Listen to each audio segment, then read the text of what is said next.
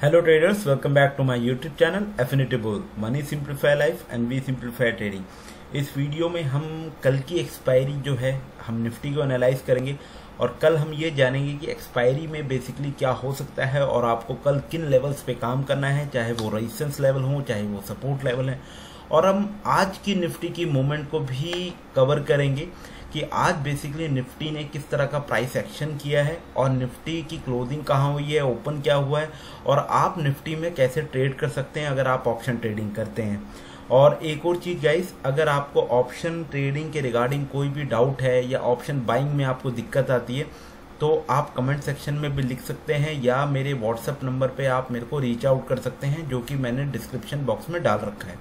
तो निफ्टी की एनालिसिस करने से पहले, जो कल की एनालिसिस हम करने वाले हैं इस वीडियो में तो उसकी एनालिसिस करने से पहले मैं आपको अपने टेलीग्राम ग्रुप पे लेके चलता हूँ और वहाँ मैं, हम ये देखेंगे कि आज मैंने निफ्टी का कौन सा कॉल दिया था और उस कॉल ने कितने का टारगेट अचीव किया है या एस एल हिट हुआ है।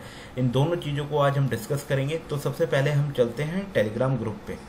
हेलो ट्रेडर्स जैसा कि आप देख पा रहे हैं ये मेरा एफिनिटी बुल निफ्टी किंग के नाम से ग्रुप है, जो कि टेलीग्राम पे अवेलेबल है। आप सर्च करके भी ज्वाइन कर सकते हैं। अदरवाइज़ इसका लिंक मैंने डिस्क्रिप्शन बॉक्स में डाल रखा है। आप वहाँ से भी आप इसको ज्वाइन कर सकते हैं। ठीक है? तो आज मैंने अपने प्रीमियम ग्रुप पे, आप ये देखिए, मैं पाँच मिनट के अंदर कॉल देता हूँ। आप मेरी प्रीवियस हिस्ट्री भी चेक कर सकते हैं। तो मैं पाँच मिनट के अंदर कॉल दे देता हूँ।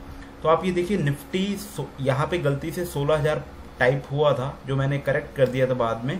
16,100 की पुट मैंने दी थी। बाइंग उसकी थी 76 की जिसका टारगेट था 96 113 और 133 का जिसका टारगेट था।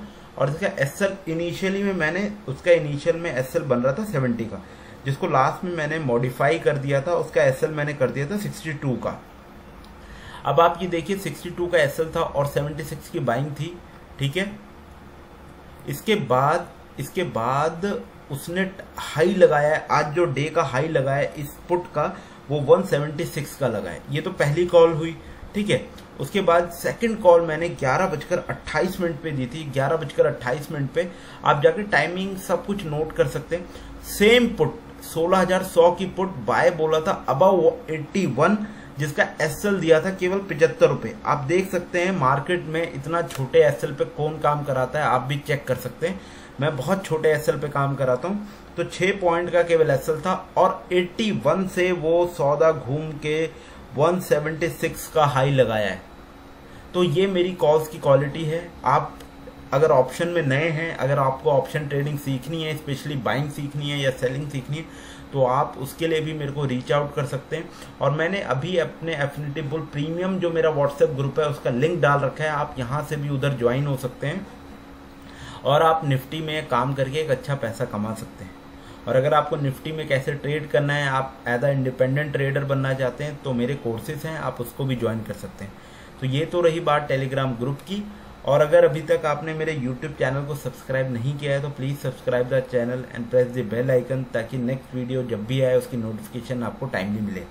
तो आइए अब बिना देरी के हम निफ्टी को एनालाइज करते हैं और कल जो एक्सपायरी है कल के दिन बेसिकली मार्केट में क्या मूवमेंट हो सकती है और आपको किन लेवल्स पे काम करना है। तो ट्रेडर्स ये निफ्टी डेली का चार्ट ओपन है, आपके सामने आप देख रहे होंगे। और कल कल जो मैंने एनालिसिस करी थी और कल मैंने आपको कुछ लेवल्स बताए थे। मैंने आपको बताया था सोलह हज़ार डेढ़ सौ का जो लेवल है, वो बहुत क्रिटिकल लेवल है। ये ऐसा रजिस्टेंस या सपोर्ट काम कर सकता है डिपेंड ये करेगा कि मार्केट ओपन कहाँ हो रही है, ठीक है? मार्केट आज आपका ओपन कहाँ हुआ था? मार्केट आज ओपन हुआ था 16,130 के आसपास।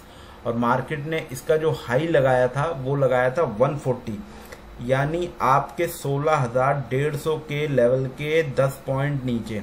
तो आपको मैंने बताया था जो ये 16,150 का लेवल है एक बहुत इंपॉर्टेंट लेवल है। और कहीं ना कहीं प्राइस इसके नीचे था। तो यहाँ से ये क्या था रजिस्टेंस था। और देखिए, इस रजिस्टेंस के बाद मैंने आपको एक सपोर्ट बताया था, वो सपोर्ट था सोलह हज़ार का, जो कि आज की मार्केट ने तोड़ दिया है।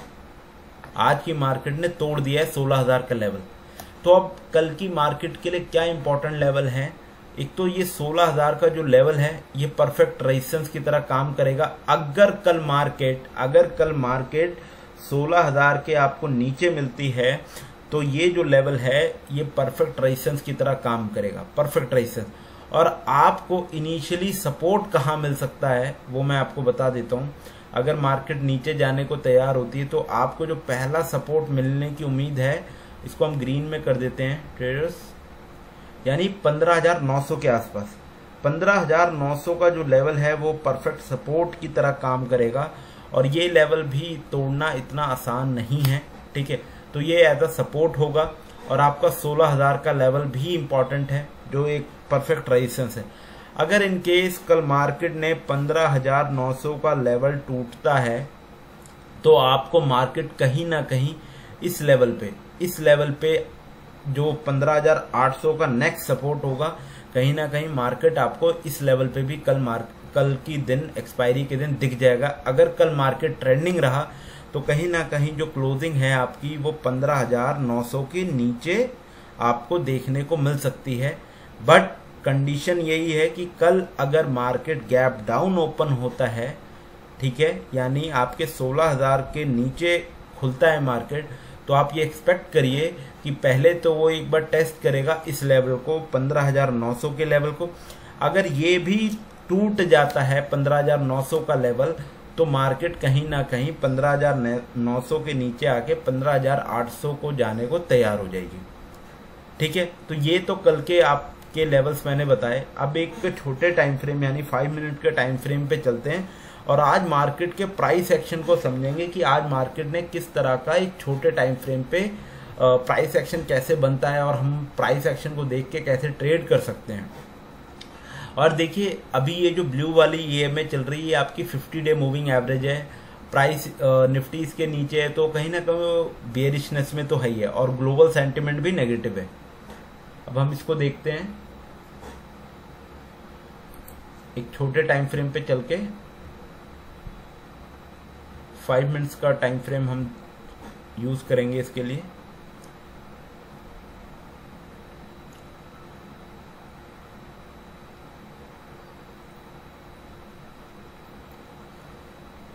आठ थर्टीन जुलाई है, यहाँ से लेकर मार्केट यहाँ पे, ठीक है ना? आप पहली कैंडल को वॉच करिए। कैंडल्स बहुत इंपॉर्टेंट है। ये केवल प्राइस मूवमेंट प्राइस की इंफॉर्मेशन नहीं देता है कि ओपन क्या था हाई क्या था। इसके अंदर सेंटिमेंट छुपा होता है। आप ये देखिए, जो जिस तरह का कैंडल बना था, पहला जो कैंडल है, यानी गैप अप होके, अगर आप साइकोलॉजी को समझिए, सारा खेल यहाँ पे साइकोलॉजी का है। आप ये देखिए, कल मार्केट ने क्लोजिंग कहा दी थी? सोलह के आसपास। ये आपकी क्लोजिंग थी कल की। आज मार्केट ने गैप अप ओपन किया है। अगर मार्केट गैप अप ओपन करके और आपको पाँच मिनट में वीकनेस शो कर रही है इट मीन्स मार्केट में जान नहीं है। मार्केट ऊपर जाने ही नहीं वाला है। आप इसको बैक टेस्ट भी कर सकते हो। कितनी बार ही बैक टेस्ट कर सकते हो। तो कहीं ना कहीं ये जो कैंडल था, ये एक वीक कैंडल था। और आप देखिए स्टार्टिंग में लेके तो गए ऊपर बट हुआ क्या है, जो मार्केट के पाँच मिनट का जो हाई था, या पंद्रह मिनट का भी आप हाई कह सकते हैं, ये हाई था, ठीक है, इसको मैं मार्क कर देता हूँ, ठीक है, इसको मैं मार्क कर देता हूँ इससे।